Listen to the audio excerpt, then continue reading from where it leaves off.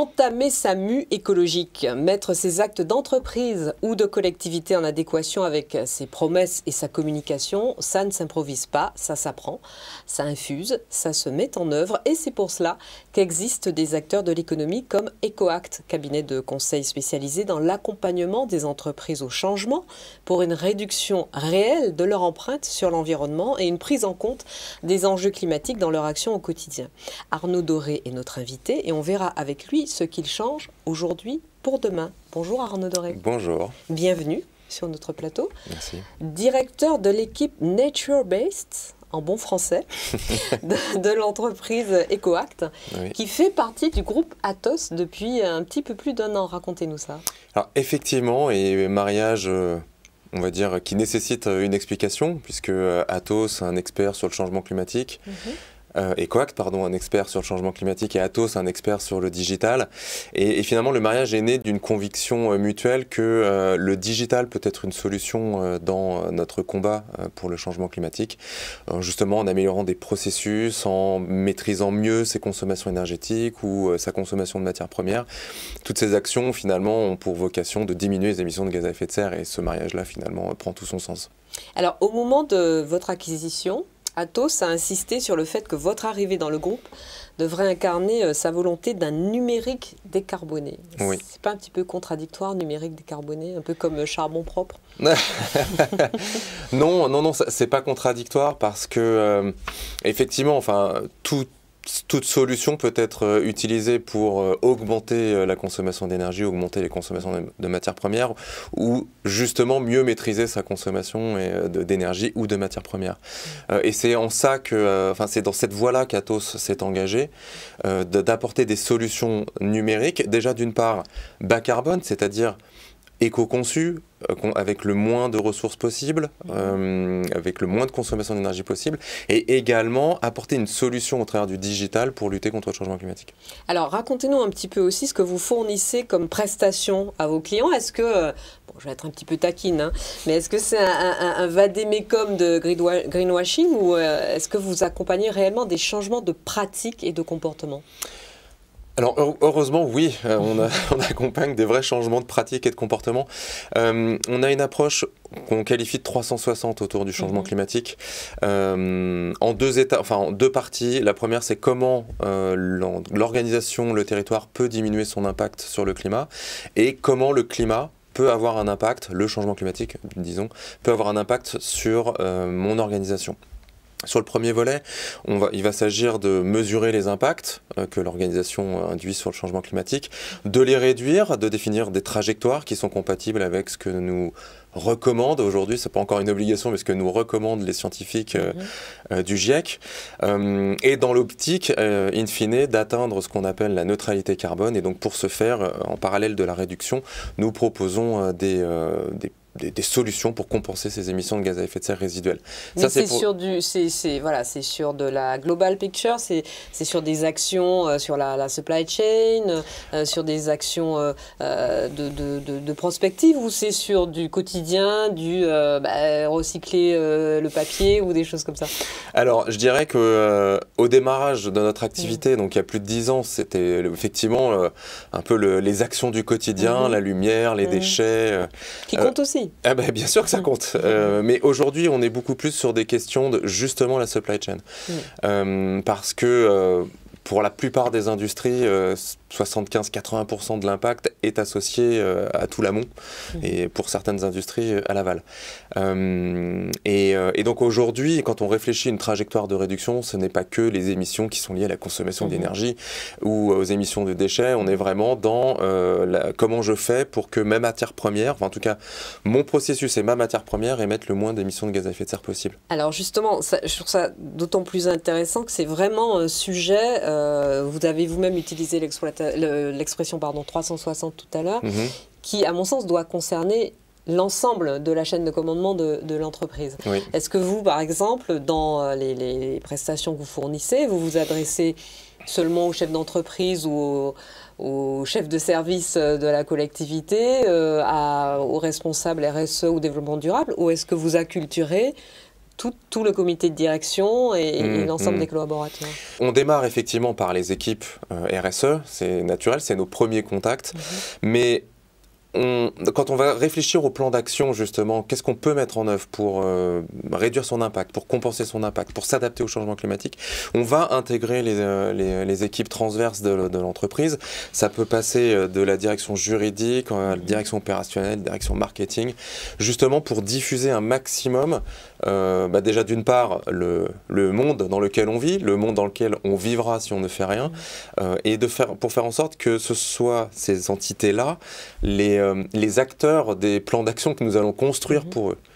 Et qu'est-ce que vous rencontrez en face? Vous rencontrez euh, euh, justement des clients, des chefs d'entreprise, des, des, cadres uniquement soucieux de la compliance et, du fait de respecter les, mhm. normes et les, directives ou un vrai souhait, presque individuellement, de changer la donne? Ah, question, euh, question qui peut induire une réponse assez large, euh, parce qu'effectivement, euh, enfin, ça serait faux de dire que toutes les entreprises avec lesquelles on a l'occasion de travailler sont engagées, sont convaincues qu'il faut faire quelque chose.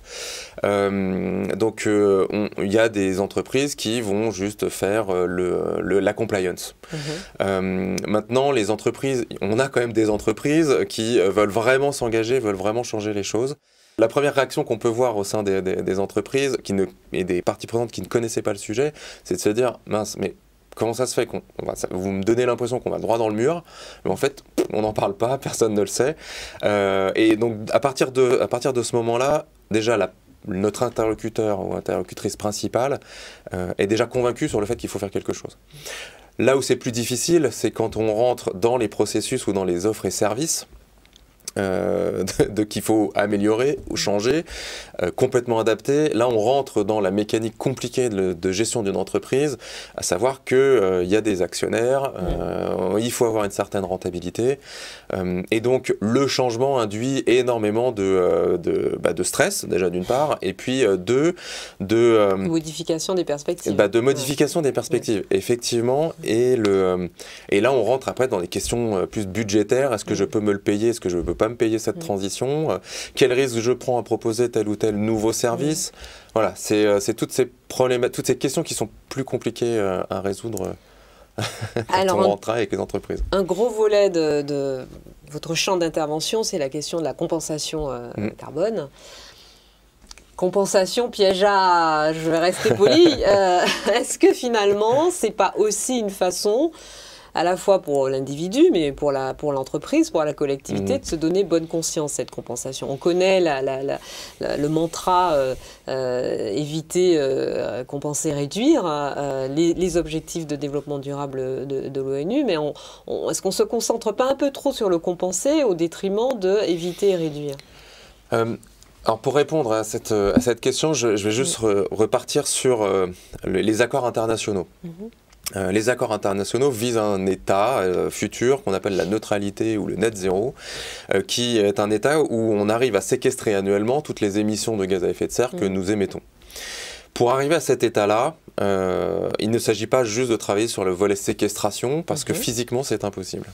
Donc c'est la raison pour laquelle tout l'objet des négociations internationales, c'est pour les pays développés, quels sont les engagements pour réduire drastiquement, et pour les pays en développement, qui veulent se développer et donc émettre des gaz à effet de serre, comment est-ce que en tant que pays en développement, on va se développer pour émettre le moins de gaz à effet de serre possible? L'idée, c'est pas qu'ils réduisent, ils émettent, ils émettent pas déjà grand-chose, par rapport en tout cas aux pays développés.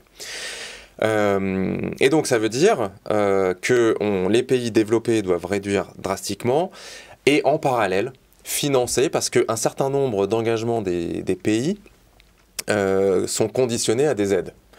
Euh, et en particulier des aides venant des pays, développés au travers de mécanismes de compensation carbone, enfin dits de compensation carbone.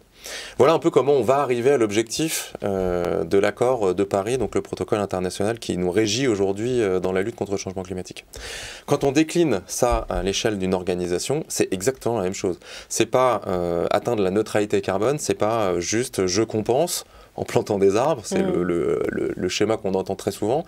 Euh, c'est je réduis drastiquement, on parle de euh, 4 à 5 quand même d'émissions de gaz à effet de serre euh, réduits par an. Euh, ce sont des marches importantes.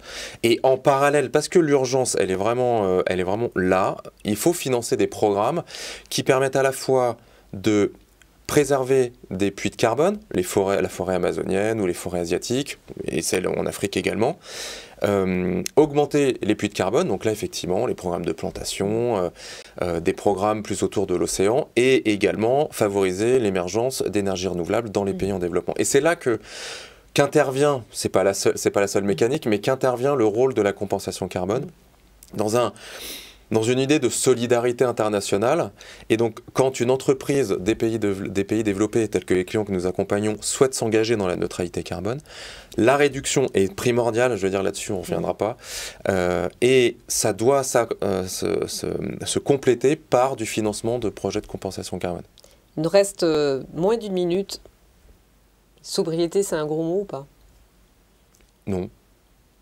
on, non. on peut s'arrêter là, ça, ça, ça me va. non, non, non, c'est pas un gros mot. Non, parce que Euh, Et est-ce que et déconsommation, c'est une chimère d'écolo ou c'est un, ou un baisser vrai- les consommations Dé- Déconsommer, est-ce que Ah, c'est un mouvement de fond, euh, selon vous, auquel les entreprises doivent s'adapter, ou est-ce que c'est une chimère euh, écologiste?